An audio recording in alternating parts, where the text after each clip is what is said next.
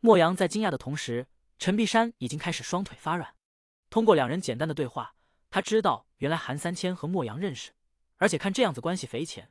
更重要的是，韩三千在莫阳面前的态度依旧是嚣张狂妄，没有丝毫收敛。这让陈碧山忍不住揉了揉眼睛，因为他怀疑自己眼花了，所以才会产生错觉。一个小屁孩而已，怎么可能有胆子用这种态度对待莫阳？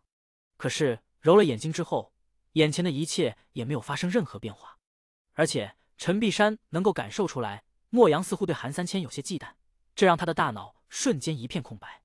自己这是得罪了一个什么样的人，竟然连莫阳都会怕他？从某些方面来说，莫阳并不是害怕韩三千，而是对未知的畏惧，因为他不知道韩三千究竟有着什么样的背景，而韩三千的表现。却又像是有大背景在背后支撑，这才是莫阳所担心的。我并不是陈碧山的保护伞，欠过一个小小的人情，今天准备还给他。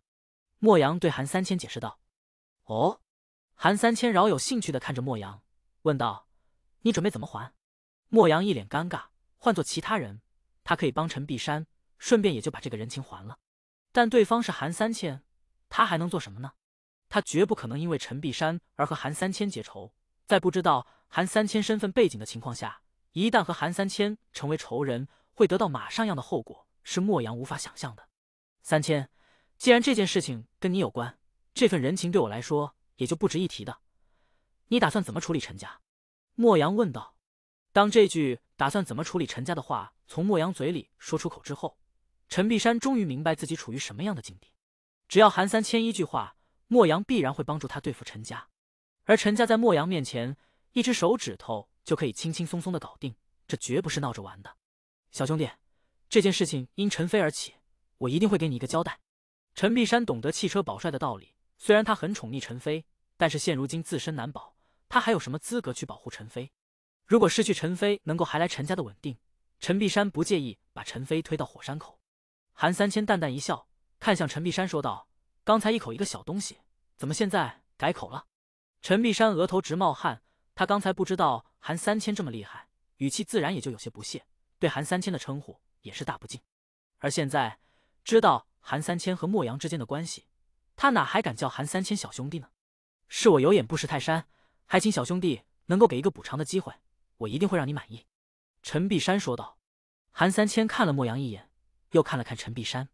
陈飞终究是陈碧山的儿子，他即便愿意在这时候将陈飞推出来顶罪。但是这件事情会一直烙印在陈碧山的心里，只要他有机会，还是会给韩三千找麻烦。之前韩三千就说过，解决麻烦最简单的办法就是彻底搞定麻烦的来源。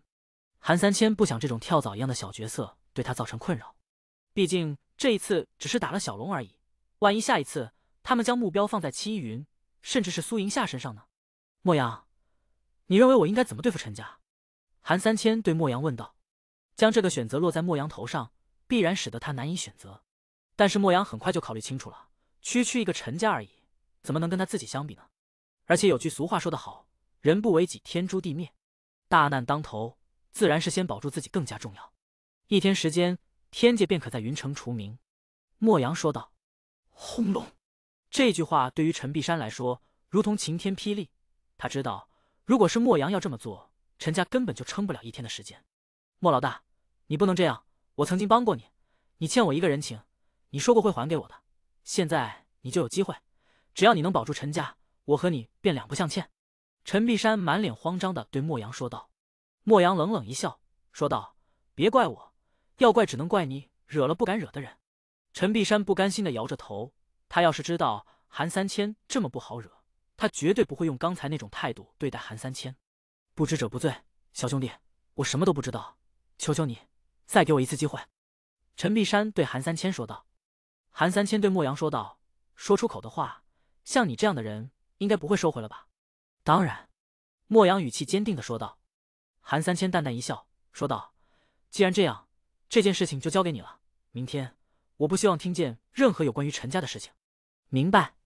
莫阳知道韩三千这句话是什么意思，这是韩三千希望安静低调的处理陈家，而不是闹得满城风雨。陈家在云城也是有一定影响力的，要悄无声息的解决陈家，不是一件简单的事情。不过以莫阳在云城的地位，要办到也不难。而且即便有风声传出去，只要让外人知道这件事情和莫阳有关，他们也绝对不敢轻易议论。就在韩三千准备离开陈家的时候，敏锐的他已经听到了电梯开门的声音，而且通过他对脚步的判断，来人应该是一个年轻人。能回陈家的年轻人，大概率就是陈飞，这让韩三千嘴角微微上扬。他回来的还真是时候啊！当房门打开的时候，门外站着的人果然就是陈飞。正准备脱鞋的陈飞看见韩三千的时候，怔了一下，随即连鞋都没来得及脱，便朝韩三千走去。他安排了很多人去找韩三千，但是没想到韩三千竟然会出现在他家里，这对陈飞来说正好是送上门了。有父亲在场，韩三千还不得翻来覆去的死？韩三千，你胆子可真是不小啊，居然敢在这里出现！你知道这是哪吗？陈飞一脸狰狞的笑着对韩三千说道：“这里不就是你的家吗？”韩三千说道：“哈哈哈哈！”陈飞放声大笑，说道：“既然你知道是我家，还来送死吗？”陈飞冲到韩三千面前，直接揪起了韩三千的领口，一副凶神恶煞的样子，像是要吃了韩三千一般。而这时候的陈飞完全没有发现还有莫阳在场。陈碧山被这一动作吓坏了，甚至感觉到心惊胆战。陈飞嚣张跋扈是他惯出来的，他很清楚陈飞的性格。但是在这种时候，陈碧山已经容忍不了陈飞目中无人的态度。陈家生死不过是在韩三千一念之间，而现在他竟然还敢这样威胁韩三千。已经腿软的陈碧山强撑着走到陈飞面前，一拳打在陈飞脸上：“逆子，你犯下这么大的错，还不知道悔改吗？”陈碧山怒吼道。陈飞被一拳直接给干懵了。这可是他家里，而且打他的人还是平时非常宠溺他的父亲。这让陈飞一时间摸不着头脑，根本不知道怎么回事。爸，你你打我干什么？陈飞一脸迷茫的对陈碧山问道。陈碧山气得咬牙切齿，浑身发抖，说道：“你知不知道自己招惹了什么样的人？你真以为云城里没有人是你的对手了吗？”这句话更是让陈飞有些懵逼。不过就是一个小屁孩而已嘛，而且他已经找人查过了，这人根本就不是云城的人，在云城没有任何背景。也是在这种情况之下，陈飞才敢说出要让韩三千死的话。但是现在事情似乎并不是他想象中的这么简单。爸，你怎么了？陈飞问道。陈碧山现在恨不得亲手杀了陈飞，只要能够换来韩三千的原谅，能够让陈家有一条生路，他不介意亲自结束陈飞。只可惜，即便他这么做，或许也不可能挽回大局了。陈飞，你胆子可不小啊，连我的朋友都敢对付。这时。莫阳开口说道：“听到这个声音，陈飞才察觉到家里原来还有其他人。当他循着声音看去的时候，陈飞顿时惊呆了。莫阳，这不是莫阳吗？怎么会出现在他家里？而且，当陈飞细细品味着刚才莫阳说的话时，他更是有一种灵魂被掏空的感觉。他的朋友，难道说的是韩三千吗？韩三千是莫阳的朋友，而他竟然放话要杀韩三千。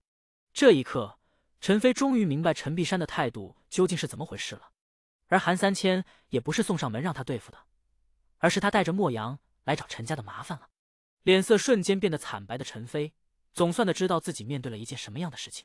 莫老大，他是你朋友？陈飞战战兢兢的问道。不错，莫阳语气坚定的说道。晴天霹雳，这两个字对陈飞来说是这辈子听过最有震撼力的话，因为这意味着。莫阳会出面针对陈家，而他的出面会带来什么样的后果？陈飞心里是非常清楚的。你难道从来没有想过，自己的嚣张中有一日会毁了自己？韩三千对陈飞问道。陈飞并不是没有想过这个问题，而是他从来不认为报应会发生在自己身上，因为他知道陈碧山和莫阳之间有过一段情分，真惹出了大事，还能让莫阳帮忙一次，那时候吸取教训，以后低调一点便行了。这是陈飞一直以来的想法。所以他才这般肆无忌惮，但是他万万没有想到，自己竟会在莫阳的朋友头上动土。陈家和莫阳之间的情分，在这时候明显就没有用武之地了。你这个逆子，还不给他道歉！陈碧山一脚踹在陈飞身上，他希望能够用尽一切的办法得到韩三千原谅，只有这样才有机会保住陈家。陈飞的自尊心不允许他这么做，但他也是一个明白现实的人，他知道得罪了莫阳会是什么下场。如果连陈家都没有了，那么他那可笑的自尊心又有什么用呢？陈家公子沦为街头乞丐，自尊心还有意义吗？陈飞当即便对韩三千跪了下来，说道：“对不起，我不该冒犯你，我为之前做过的所有事情给你道歉。如果道歉能够解决问题，这世上就不会有那么多的矛盾了。很显然，道歉并不是在每件事情上都有用的，而且韩三千要彻底解决这个麻烦，不允许留下任何的隐患。这件事情了结之后，我会再来找你。”韩三千对莫阳说道。莫阳不知道韩三千找自己干什么，但他所说的了结。莫阳很清楚是什么意思，陈家已废，没有任何人能够救得了。但韩三千离开之后，陈家父子两人绝望的表情几乎是如出一辙。虽然陈飞不知道之前他们的对话是怎么样的，但韩三千所谓的了结二字，他却明白是什么意思。陈飞嚣张了这么多年，也是得罪了许多的人，但是他从未想过自己招惹了这么一个不起眼的小孩，却换来了这么严重的后果，而且还是莫阳亲自出面。使得这件事情没有任何回转的余地。莫老大，你给我一个机会，让我打个电话。陈碧山一脸祈求的对莫阳说道。天昌盛，莫阳淡淡一笑。陈碧山如同小鸡啄米一般点着头。他现在只能期盼由这位商界第一人出面帮他解决麻烦。但是莫阳接下来的一番话，让陈碧山彻底绝望了。你可能不知道他和天昌盛之间的关系。根据我的了解。天昌盛已经把云顶山别墅区的山腰别墅送给他了，最近正在装修，相信要不了多久他就会入住。你认为天昌盛会帮你吗？莫阳说道。陈碧山瞪大了眼睛，不敢置信。他很清楚山腰别墅意味着什么，而天昌盛将山腰别墅送给韩三千，这足以说明韩三千在天昌盛心目中的重要性。可是为什么呢？为什么云城道商两界的第一人都会对韩三千这么重视？他的背后。究竟有着什么样的惊天背景？莫老大，我这是得罪了什么人？陈碧山满脸无奈的苦笑，已经认命了，因为他知道没有任何人可以扭转局面。但是在被毁灭之前，他想知道韩三千的身份，让自己死的瞑目一些。说起韩三千的身份，莫阳也不禁倒抽了一口凉气。关于这件事情，即便是他也没有去真正的细想过。但是他在知道天昌盛对待韩三千的态度之后，就已经非常清楚韩三千是个不可招惹的人物。对现在的莫阳来说，知道这一点就已经足够了。至于韩三千究竟是谁，在有机会的情况下，莫阳会尝试着调查一下。但是时机不成熟，莫阳绝对不会轻举妄动。他可不想无端端的把祸事招惹到自己身上来，更不愿意因此而得罪了韩三千。莫阳是靠着拳头起家的，按理来说，他的胆量会更大，也是一个更不怕事的主。但是面对韩三千，他内心隐藏了许久的畏惧却会开始蠢蠢欲动。这对于莫阳来说，就是一个非常明显的信号，就连他的直觉都告诉他不能招惹韩三千，他自然也就不会这么做了。你得罪的人，就连我都无法想象他的身份，所以你面临这样的下场也是理所当然的。”莫阳淡淡的说道。陈家父子二人绝望的瘫坐在地上，对于求生的挣扎已经没了半点欲望。而韩三千三人在离开陈家之后，回到车上，戚依云便对韩三千问道：“他们会怎么样？”成年之后的戚依云。见了很多社会的阴暗面，但现在的他还不太适合知道这些事情，所以韩三千并没有多做解释，只是说道：“我的麻烦已经解决了，至于他们会怎么样，重要吗？”戚依云见韩三千不愿意给自己明说，也就没有继续问下去了。你在燕京已经无人不知，而且地位非常高，为什么要来云城呢？戚依云好奇道：“韩三千如果留在燕京，必然能够有更好的发展，毕竟那是一线城市，而云城……”却是个不入流的十八线城市，两者之间根本没有任何的可比性，所以戚云觉得很奇怪，韩三千为什么会舍弃燕京来到云城？这句话对小龙来说是个非常重要的讯息，他至少知道了自己的老大是从燕京而来的，而且这也让小龙有些啧舌，从燕京来的厉害人物，那可是真厉害。而且戚依云也说得很清楚，老大即便是在燕京，也无人不知，而且地位非常高。地位很高，就表示很厉害吗？韩三千笑着说道。不然呢？戚依云反问道。对于男人来说，金钱的追求是第一步，而通常有了钱的男人，就会对于权力展现出贪图的欲望，这几乎是每个男人都会有的心态。有句话说得好，钱是身外之物，而权力才是男人最华丽的外衣。有了钱的男人，谁又不想拥有权力呢？对我来说，不论是钱还是地位，权力都没有意义。我只追求自己想要的生活，韩三千说道。你追求的生活又是什么样的？戚云好奇道。他不自觉的想要对韩三千有更多的了解，因为他的直觉告诉他自己和眼前这个男人会有很多的故事发生。你的话有点多了，这是我的私人事情。韩三千笑着道。戚云不满的嘟了嘟嘴，撇过头去，不再说话。老大，我们去哪？小龙对韩三千问道。把我放在学校，你送他先回酒店。韩三千说道。为什么我要先回酒店？戚云立马反驳道。不是我的所有事情，你都能参与的。韩三千淡淡道。在这一刻，戚云感受到一股莫名的冷冽。韩三千的语气似乎已经把他拒之千里，这让戚云觉得心里空荡荡的。早晚有一天，你会后悔对我的态度。”戚云满脸傲娇的说道。韩三千一点不在意戚依云说的话。当车到了学校的时候，韩三千便下车了。戚依云透过车窗，眼神紧盯着韩三千。虽然现在的他还不懂得什么叫爱，但是他的内心却已经对韩三千萌发了一颗爱的种子。甚至可以说，从戚云决定来云城的那一刻起，这颗种子便已经萌芽了。站在学校门口，静静的等着放学。韩三千还刻意整理了一下自己的衣服，从不在意自己对外形象的韩三千，在面对苏银夏的时候却是格外的谨慎。去酒店的戚云在车上对小龙问道：“你老大为什么要去学校？他有认识的人吗？”关于这件事情，小龙其实有过猜测，韩三千和苏银夏之间肯定有什么关系，甚至有可能自己这位老大喜欢苏银夏，否则的话，那次就不会让他们出面教育苏海超。不过这种有关韩三千的私事，身为小弟的小龙可不敢随随便便去讨论。你别问我，我也不知道。”小龙说道。戚云看着小龙明显有些掩饰的表情，知道他肯定清楚些什么，只是不敢说而已。你要是告诉我，我帮你介绍女朋友，怎么样？”戚云说道。小龙情不自禁的咽了咽口水。女朋友这种事情，以前他可不敢想，毕竟正经的女生也不愿意跟他一个盲流子在一起。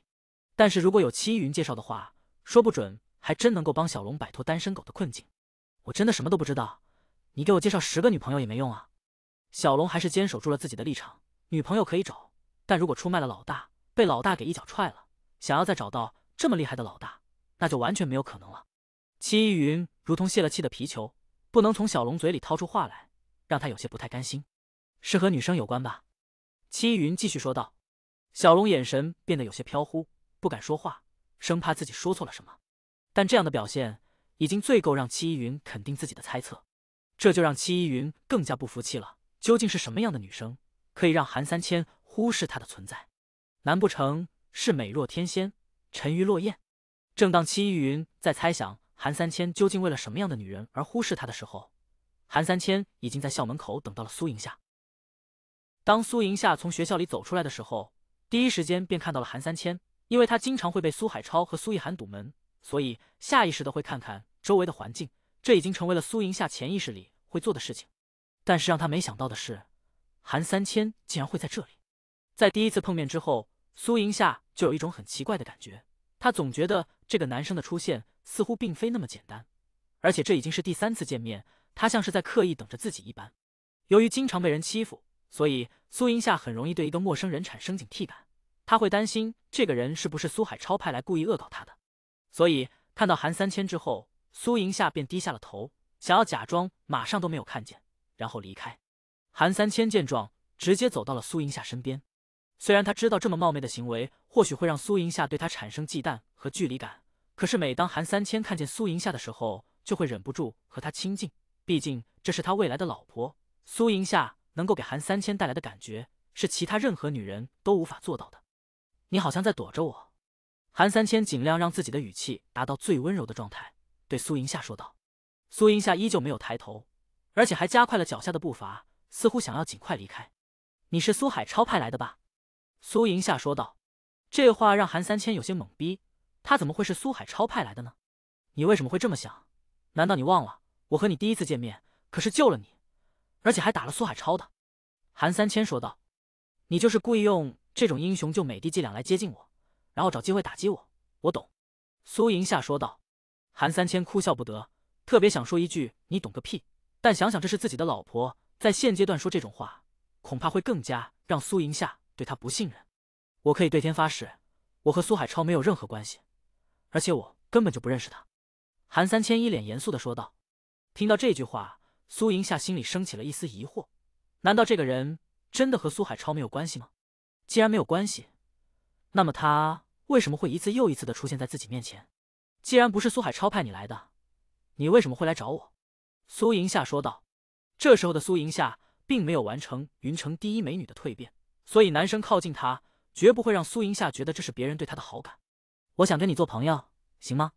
韩三千试探性的说道，语气显得有些小心翼翼，因为他害怕被苏银夏拒绝。朋友？苏银夏愣了一下，在学校里，他一个朋友都没有，因为苏海超告诉过他身边的所有人，谁要是敢和他当朋友。就是苏海超的敌人，而苏海超在学校里又有一定的影响力，所以即便是同班同学都会刻意的疏远苏银夏，更别说有朋友了。你知不知道跟我做朋友会有什么下场？苏银夏对韩三千问道。韩三千这就有些奇怪了，不就是当朋友而已吗？还能有什么下场？我不太明白，你这句话是什么意思？韩三千说道。苏海超不允许任何人和我当朋友，我的朋友就是他的敌人，他会对我的朋友报复。苏银夏解释道：“这话让韩三千心中怒意腾升。他本以为苏海超只是偶尔会欺负一下苏银夏，没想到他竟然做的这么过分，连苏银夏有朋友这件事情都不允许。在这种情况下，韩三千可以想象苏银夏在学校里是如何被排挤的。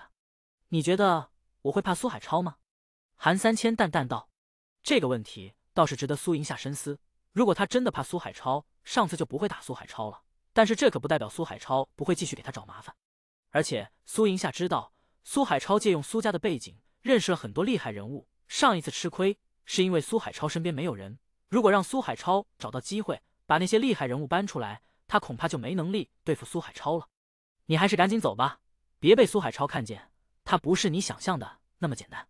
苏银夏提醒道：“被韩三千救过一次，他心存感激，所以他不想因为自己而害了韩三千。”韩三千笑了起来：“区区一个苏海超而已。”背后不就是苏家吗？还能复杂到哪去？韩三千闭着眼，用一根手指头对付苏家就已经绰绰有余了。你是在为我担心吗？韩三千笑着问道。苏银夏莫名的脸红了，而且直接红到了耳根。这种娇羞的样子让韩三千看得心猿意马。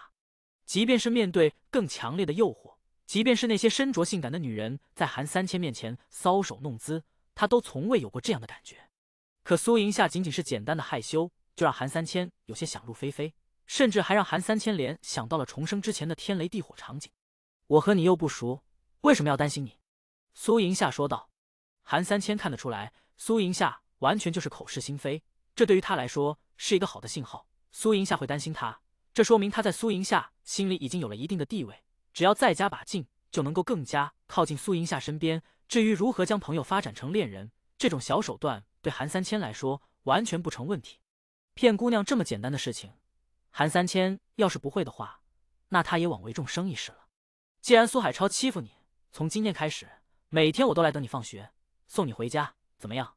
只要有我在，苏海超就绝对没有欺负你的机会。”韩三千说道。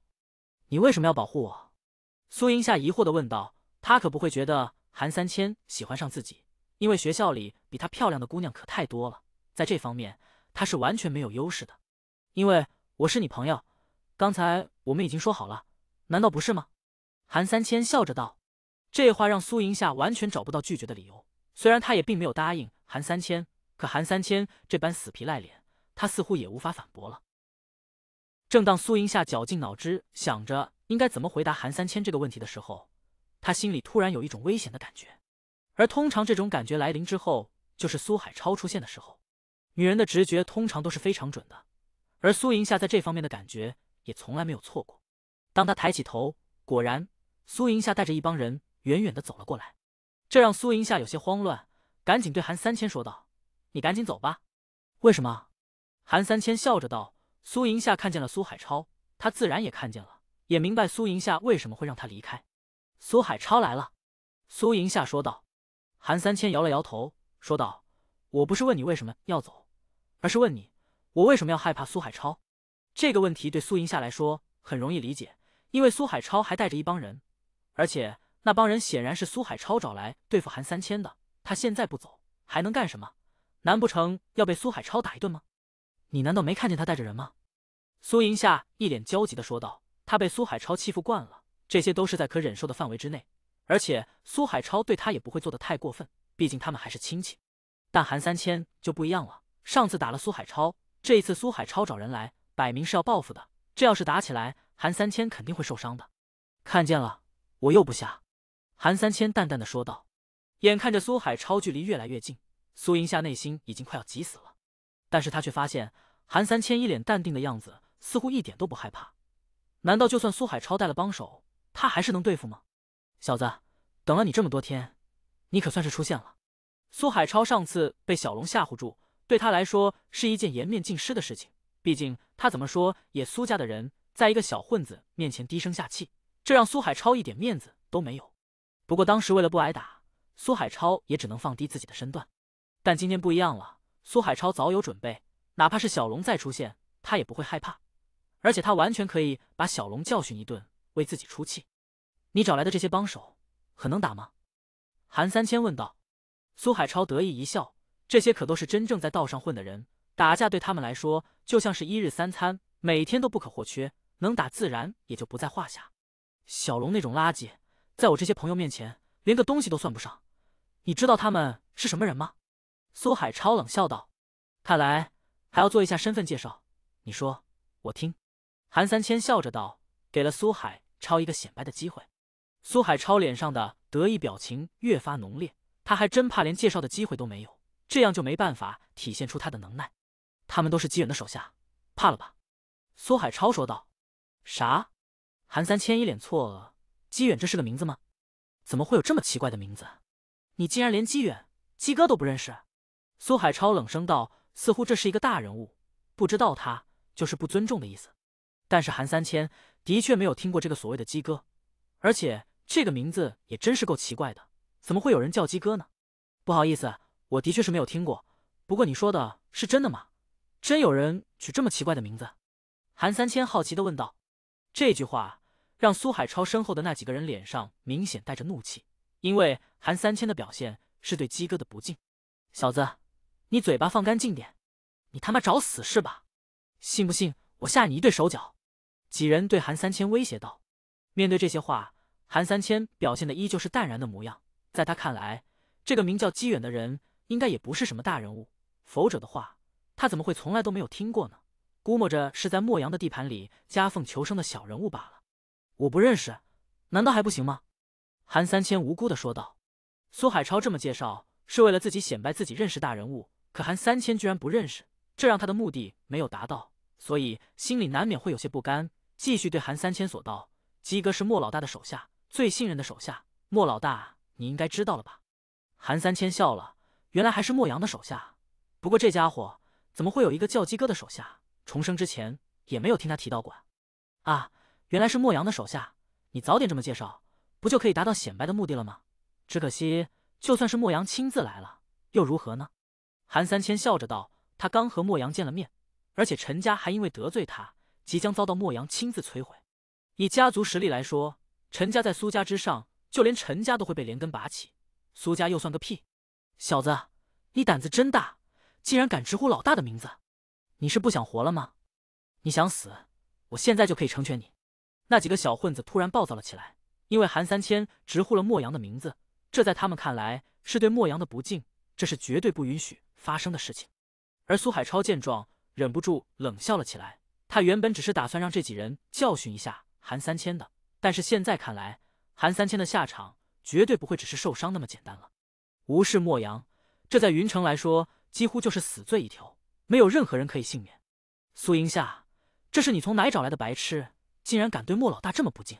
苏海超对苏银夏说道。苏银夏刚才听了韩三千的话，也是心惊胆寒。虽然他还小，但是关于莫阳的事情，三岁以上的小孩几乎都有所耳闻。他当然也就明白莫阳在云城有多厉害的地位。韩三千刚才的那些话，要是被莫阳听见，估计真的只有死路一条。你注意自己的言辞，莫老大在云城是没有任何人敢得罪的。苏银夏对韩三千提醒道。这句话让苏海超大笑了起来，因为现在的提醒已经晚了，不敬的话，韩三千已经说出口，这是怎么也摆脱不了的事实。韩三千从苏银夏的眼神里看到了恐惧，这说明苏银夏是真的非常害怕莫阳。这让韩三千内心的保护欲直接就爆棚了。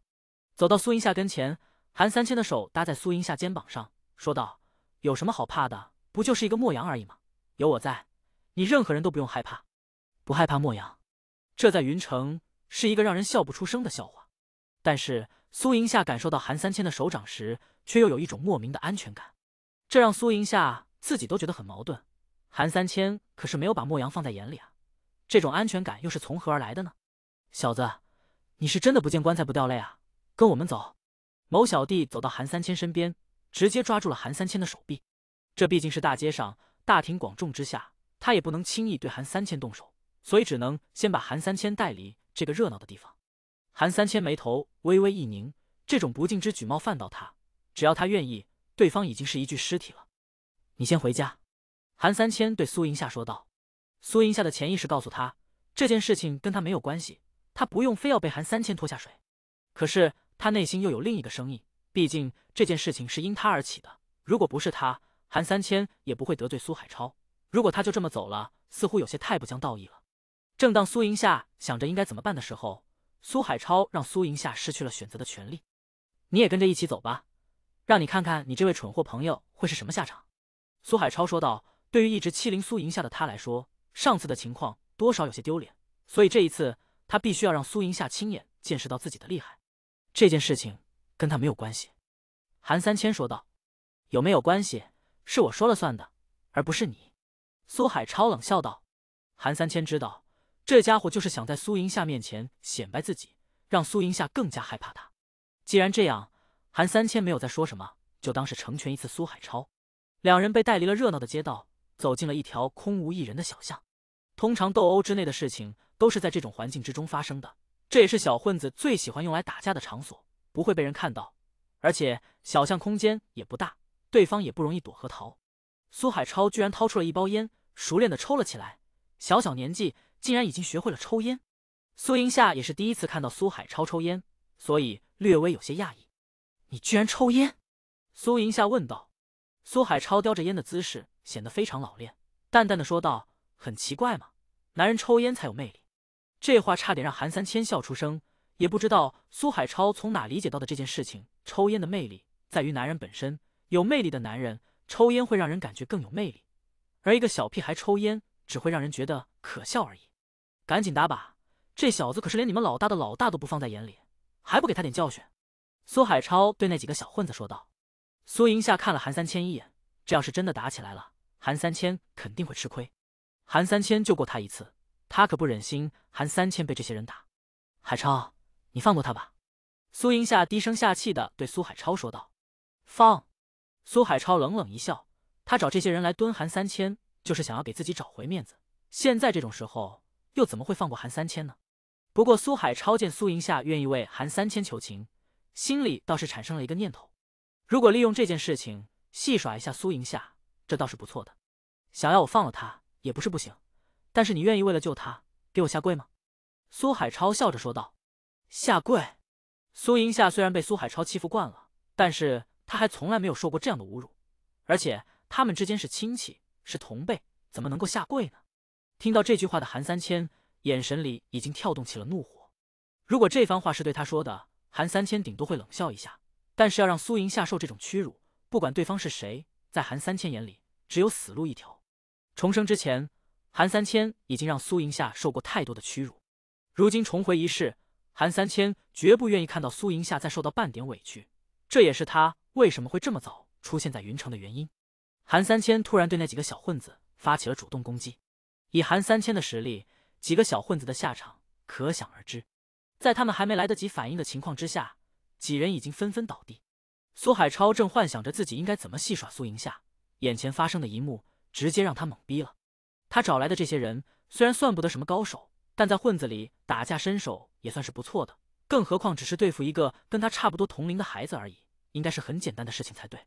但是现在他看到的，很显然是小看韩三千而付出的代价。怎么可能？苏海超一脸惊叹的说道。苏银夏也有些瞠目结舌，他还想着怎么避免下跪，让苏海超放了韩三千，没想到这眨眼之间，韩三千居然已经把那些人打倒了。这也太厉害了吧！韩三千面如冰霜的走到苏海超面前，苏海超叼着烟的双唇开始颤抖，不自觉的向后退。你你要干什么？别过来，别过来！”苏海超惊慌失措的说道。“你要让他下跪？”韩三千声音冰冷的问道。苏海超下意识的摇着头说道：“没，没有，我没说过这种话。你听错了，一定是听错了。”韩三千故意做了一个挖耳朵的动作，说道：“你的意思是我耳朵有毛病吗？”苏海超依旧只能摇头，刚才的气势荡然无存，废物的气息在这一刻体现的淋漓尽致。我不是这个意思，你你别过来了，不然不然我……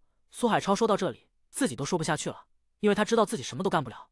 韩三千轻易把那些混子放倒，他难道还有勇气敢对韩三千出手吗？就在一分钟之前，苏银夏还在担心害怕，可是这一刻，他却在韩三千身上感受到了前所未有的安全感。以至于他看向韩三千的眼神也发生了巨大的变化。苏银夏不知道韩三千为什么会突然出现在自己身边，但是他却感觉自己和这个男生之间似乎有一段注定的缘分。当然，现阶段的苏银夏对于缘分的理解并不深刻，他只知道自己可以和眼前这个男生做朋友，因为有他在，自己就不会受到伤害和欺负。眼看着韩三千已经走到苏海超面前，苏海超彻底吓得腿软了，要不是苦苦支撑。早就已经瘫坐在地。不过，即便在强撑的情况下，苏海超的双腿还是发抖的非常严重，并且脸色都变得苍白无比。我听说谁要下跪？韩三千直勾勾的盯着苏海超。当这句话说出口之后，苏海超便明白了韩三千的意思。但是他在苏银夏面前通常都是高高在上的态度，怎么能够在苏银夏面前跪下呢？被苏银夏看了笑话，他今后哪还有脸出现在苏银夏面前？可是不轨。他又扛不住韩三千所带来的压力，一旦韩三千对他动手，他可就要受腐肉之苦了。哥们，你知道我是谁吗？苏海超咬紧牙关说道。韩三千淡淡一笑，这家伙是准备用苏家的身份来威胁自己了吗？只可惜韩三千就连天昌盛和莫阳都不给面子，又怎么会把区区苏家放在眼里呢？苏家在云城不过是个三流世家而已，你不会以为可以用苏家吓唬我吧？韩三千淡淡道。苏海超脸色变得更加难看。三流世家，苏家的情况的确如此，但也不是一般人有资格小看的。他能够说出这样的话来，说明他的地位绝对不会比苏家低。这时候，苏海超意识到了一个情况，那就是自己想要报复的人在云城的地位恐怕比苏家都高。在这种情况下，他哪里还有资格成为韩三千的对手？而且这件事情一旦闹大了，不只是他会遭殃，恐怕还会连累到苏家。那时候必然会更加严重，甚至苏家有可能为了保住自己，把他踢出家族也不无可能。只要我肯跪下，你就能放过我吗？苏海超问道。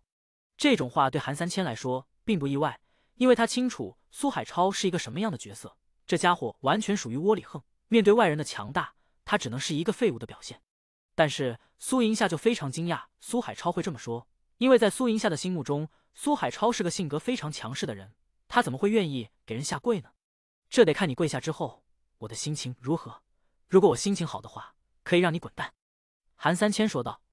苏海超用余光看了看苏银夏，在他面前跪下，绝对是会让苏海超颜面扫地的。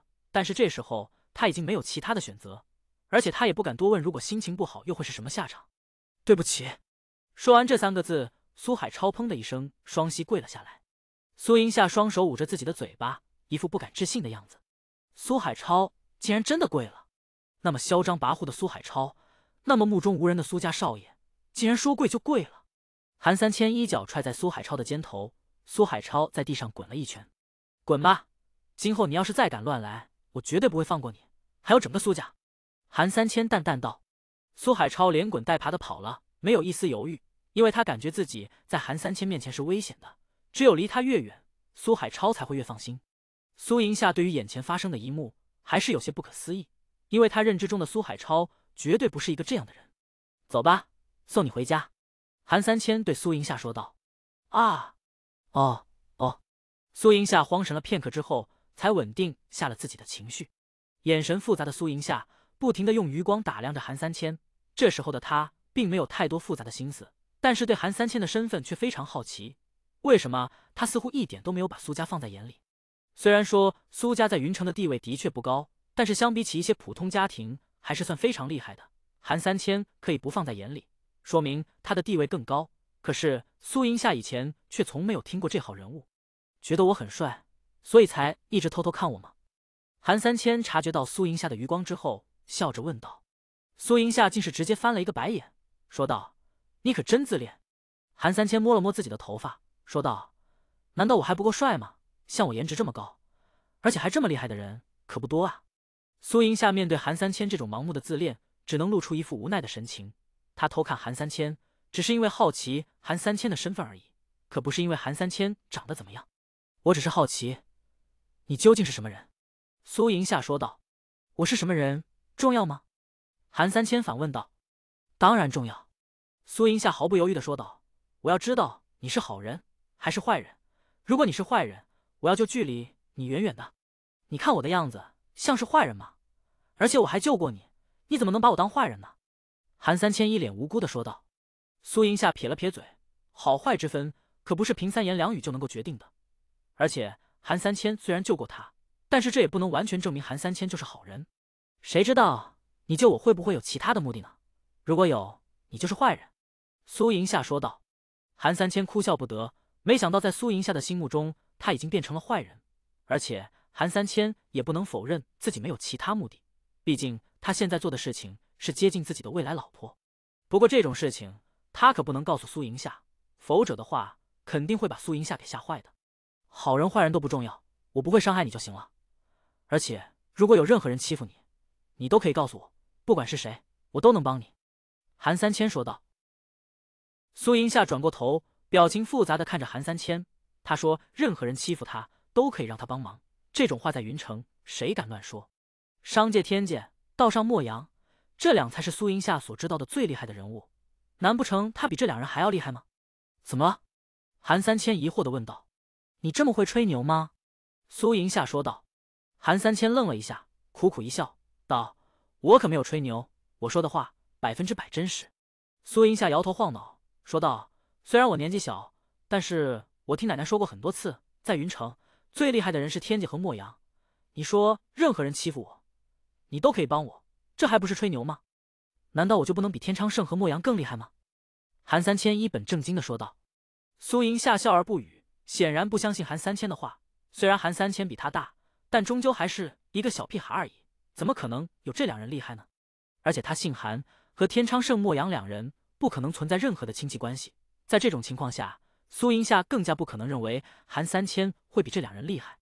我要回家了，今天谢谢你。”苏银夏说道。“为什么谢我？”韩三千好奇的问道。“谢谢你让我见识到，原来苏海超也是一个怂货。”苏银夏笑道。韩三千挑了挑眉，苏海超这个家伙。岂止是一个怂货，那是绝对废物到骨子里的东西。把苏银夏送回家之后，韩三千今天的任务也就算是圆满完成了。而且他和苏银夏的关系明显更近了一步，这让韩三千非常满足。现在两人称之为朋友绝不过分，而成为了朋友，这段关系便可以慢慢发展加深。另一方面，苏海超回到家里之后，之前面对韩三千的惧意已经消散的差不多了。虽然他知道韩三千很有可能是一个身份比苏家还要厉害的人物。但是作为睚眦必报的苏海超来说，如果没有确定韩三千的身份，没有肯定的证据证明韩三千在云城比苏家的地位高，他内心的报复火苗就永远都不会熄灭。所以他打起了调查韩三千身份的念头。只要查出韩三千的背景，他就能够知道自己有没有报复的机会。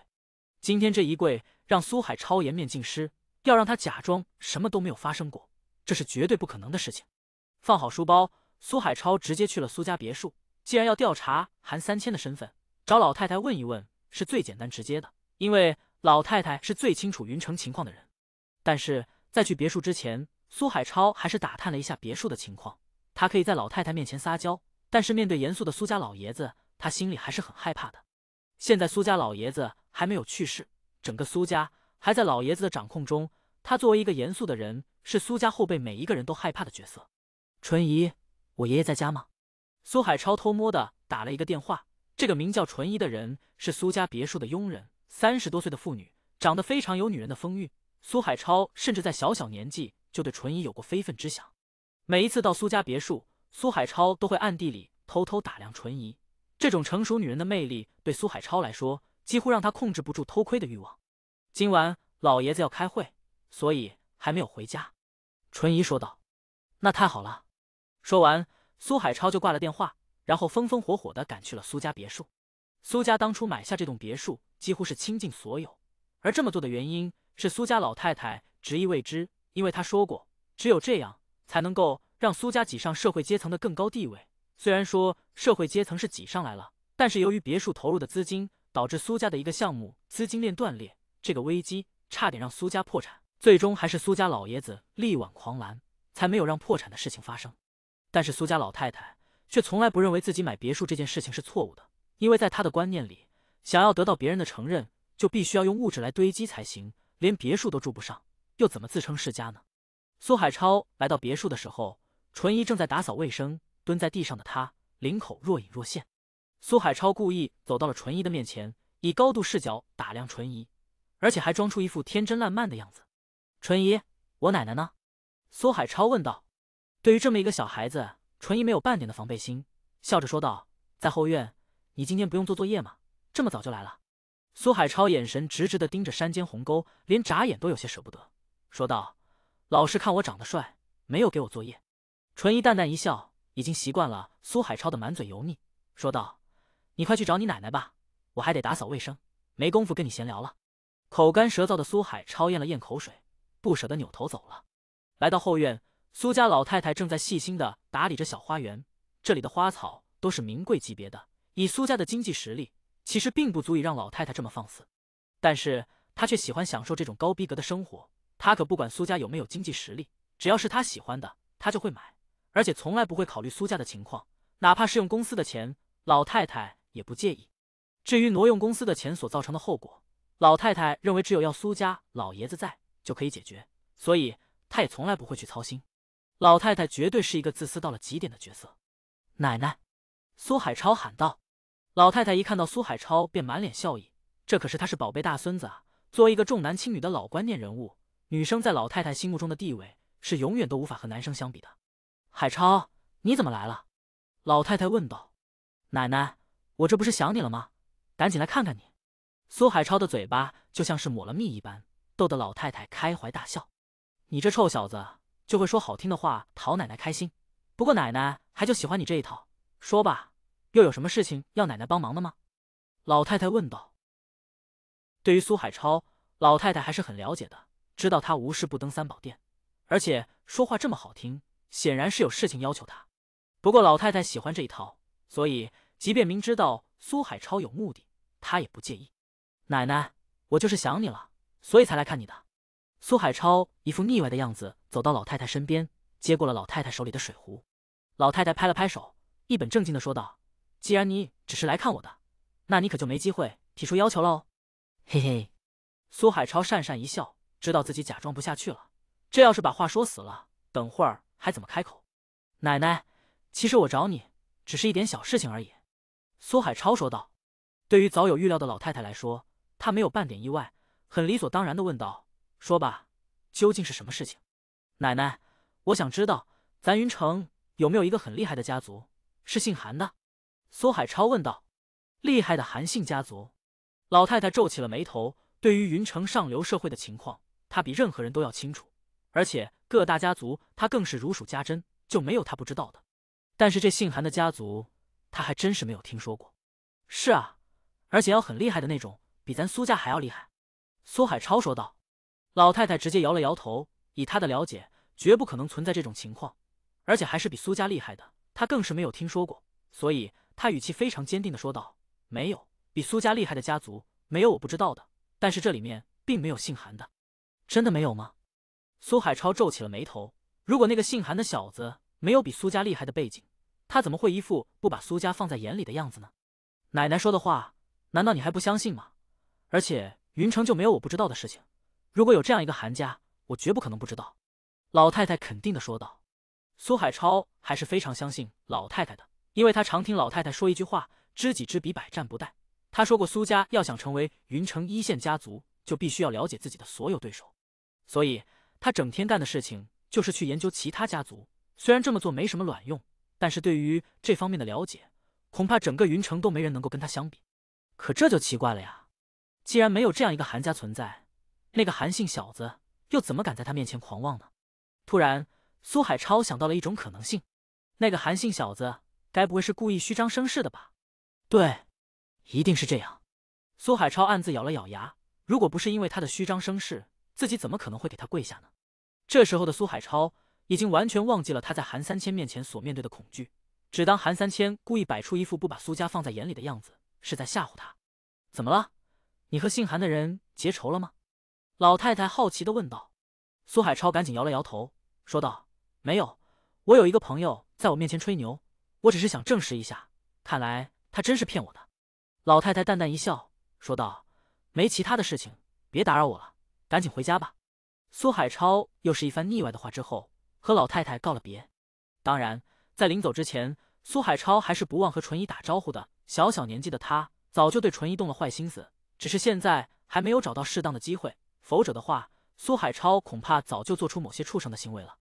酒店里，戚依云一个人闷在房间，还在纠结究竟是什么样的女生值得韩三千扔下她。戚依云在颜值方面对自己还是很有自信的，虽然他现在年纪还小。但是在自己的老家，喜欢他的男孩子可是一点不少。但是韩三千在面对他的时候，似乎没有半点这方面的感觉，这多多少少会让戚依云心里有些不服气。当听到开门的声音之后，戚依云立马躺在了床上，装作睡觉的样子。以韩三千现在的实力，想要知道一个人是不是真的在睡觉，那太简单了。戚依云的动作根本就骗不了他。不过韩三千也没有拆穿，顺理成章的当戚依云已经睡着了，你才回来吗？这时候，戚依云一副慵懒的样子，坐起身，还伸了一个懒腰。韩三千淡淡一笑，说道：“今晚吃什么？你去哪了？”戚依云没有在意韩三千的问题，而是问出了自己想要知道的事情：“学校接一个朋友。”韩三千也没有隐瞒，因为戚依云即将念同一所学校，这件事情迟早都会被他知道，没有隐瞒的必要。女生，戚依云继续问道：“是，漂亮吗？”韩三千犹豫了一下，说道：“没你漂亮。”这么说并不是在贬低苏银夏的颜值，而是从客观的事实出发，苏银夏的颜值的确没有戚依云高。而且今后即便成年了，当戚依云摘下眼镜之后，依旧不是苏银夏能够相比的。韩三千活了两世，他所见过的女人多不胜数，但要真正以颜值排名的话，戚依云绝对是第一名。不过颜值对韩三千来说并不是最重要的，而且他和苏银夏的关系。也并不是因为颜值开始，没我漂亮，你为什么要去接她？戚依云好奇道。有很多原因，但是现在还没办法告诉你，这是我的私事。韩三千说道。戚依云气得嘴巴鼓鼓，他千里迢迢来到云城，可是专为韩三千的，但韩三千显然对这个女生比他更上心。你喜欢她？戚依云说道。当然，不然的话，我为什么要去找她？韩三千大方的承认道。戚依云心里咯噔一下，他只是说气话，所以才会问出这个问题。他却没有想到韩三千竟然会这么痛快的给他答案。深吸了一口气之后，戚依云说道：“我比她漂亮，难道喜欢我不是更好吗？还是这么爽直的表现。不过还好韩三千早就已经适应了，所以也不会觉得诧异。不过这也让韩三千有些头疼。这么早和戚依云相遇，今后恐怕免不了要被戚依云霸王硬上弓啊。”为了不继续和戚云讨论这件事情，韩三千只能转移了话题，对戚云问道：“今晚吃什么？我请客。”戚云面对韩三千的逃避问题，表现出了强烈的不屑和不满，冷冷的看了韩三千一眼之后，说道：“减肥。”韩三千笑了笑，说道：“都还没发育完全呢，就开始减肥，不怕发育不良吗？”说完这句话，韩三千刻意的看了一眼戚云的胸前，这让戚云恨得咬牙切齿。这两小孩的交流像极了成年人，不过从某种意义上来说，韩三千除了身体表现像是孩子以外，其他的任何方面他都是一个成年人，而戚依云则是拥有着早熟的心态，所以有这样成熟的表现也不例外。韩三千最终还是带着戚依云去吃了晚饭，在吃饭的过程中，戚依云几乎是想方设法的套话，想要知道那个值得让韩三千去见的女孩究竟是谁，而韩三千则是做好了全方面的防御。没有把苏银夏的任何讯息透露给戚依云，不过这样做只能隐藏一时。关于苏银夏的信息，迟早都会暴露在戚依云面前，这是韩三千无法改变的一点。不过能够晚一天知道，就晚一天知道吧。韩三千只能希望这两个曾经的姐妹，千万别因为他而成为了仇人。第二天一早，韩三千收到了小龙传来的消息，有人在云城打探他的信息，这让韩三千第一时间就联想到了苏海超，因为陈飞已经得到了自己的教训。他绝对没有胆子做这种事情，而除了陈飞之外，韩三千在云城有矛盾的人也只剩下了苏海超、越哥。至于苏海超为什么要调查他，韩三千也很清楚。这个欺软怕硬的家伙，应该是要确定他的身份对苏家没有威胁之后，才会想其他办法来对付他。苏海超是一个典型的好了伤疤忘了痛的人，也可以用另一句话来形容，那就是不见棺材不掉泪。他在没有把自己作死的情况下，是绝对不会停下作死的脚步。不过韩三千没有必要把这种跳梁小丑的角色放在眼里，也就任由他去了。什么时候触犯到韩三千的底线？韩三千自然会让他去见阎王。今天我要去一趟天界，你等会儿来接我。韩三千对小龙吩咐道：“老大，我早就在酒店楼下了，你随时下来都能见到我。”小龙说道。作为一个称职的司机，小龙几乎是二十四小时待命。他现在连自己在小巷的家都不回了，直接睡在车上，而且这车里的空间和环境一点不比他的出租屋差。更重要的是，小龙担心这么好的车被人擦挂磕碰了。要是找不到凶手，可就麻烦了。行，我马上下楼。”韩三千说道。戚依云这时候已经整装待发了，戴着眼镜的她立马变得斯斯文文，而且颜值的优势也被一副黑框眼镜给遮盖了大半。你为什么喜欢戴眼镜？韩三千好奇的对戚依云问道。这样才不会让太多男生对我产生好感。戚依云很平淡的说道，似乎对他来说这就是一件平平无奇的小事。韩三千无奈一笑，其他女生。都是想方设法的把自己打扮的漂亮一些，而戚依云却是故意戴上眼镜去遮盖自己的颜值。难道这就是长得好看的女生才有资格任性的事情吗？两人下楼之后上了车，韩三千对小龙说道：“先去学校。”小龙应了一声，偷偷从后视镜里看了一眼戚依云，然后又看了看韩三千，不知道脑子里在想些什么。来到学校门口，小龙停下车，韩三千对戚依云问道：“你一个人能搞定吧？”你连校长都搞定了，难道还有谁能够阻止我吗？戚依云淡淡的说道。韩三千笑着说道：“希望你第一天上学顺利。”戚依云没有回应，而是直接下车了。下车的第一时间，戚依云便做了一个推眼镜的动作，这是很多戴眼镜的人的习惯。但是这样的简单动作在戚依云身上发生，却变得不简单了。老大，嫂子推眼镜都这么有魅力。小龙笑着说道。韩三千不得不承认，戚依云的确是有着独属于自己的魅力，而且她在颜值方面的优势会让她的魅力变得更大。不论是现在还是将来，韩三千几乎没有见过可以和她媲美的。但是小龙这句“嫂子”让韩三千面如冰霜。“你嫂子可不是他。”韩三千说道。听着这冰冷的语气，小龙忍不住打了个寒战。他知道韩三千更在乎另一个女生，不过这让他有些想不通。因为素英夏显然没有齐依云好看，男人不都应该喜欢漂亮的吗？老大怎么会选择一个看上去毫不起眼的女生？当然，这只是小龙的想法，他可不敢把自己的真实感受说出口，否则一顿暴打可是他承受不起的。老大，去天界吗？小龙赶紧转移了话题。走吧，开着车再次来到天界别墅。这辆车已经成为了天界别墅的贵客，由天昌盛亲自下达的命令，只要是这辆车开进天界别墅。任何人都不得阻拦，而且即便是天界内部的亲戚成员，也必须要为这辆车让路。不得不说，韩三千已经无形中成为了整个天界的贵宾级人物。即便是那些目中无人的天界亲戚，在看到这辆车的时候，也会忌惮三分。天昌盛把话说得非常清楚，不管是谁，一旦得罪了这辆车的主人，都会被驱逐出天界。他们可不想被赶出天界大门。车辆驶入天界别墅之后，天昌盛第一时间就收到了消息。虽然他不知道韩三千为什么会突然来天界。而且还是这么早的时间，但天昌盛还是第一时间站在了家门口迎接韩三千。天灵儿得知这件事情的时候，连睡衣都没来得及换，便朝停车场跑去。对于天灵儿的过分热情，韩三千有些哭笑不得。不过这小妮子是被韩三千当做妹妹对待的，所以韩三千也只能接受。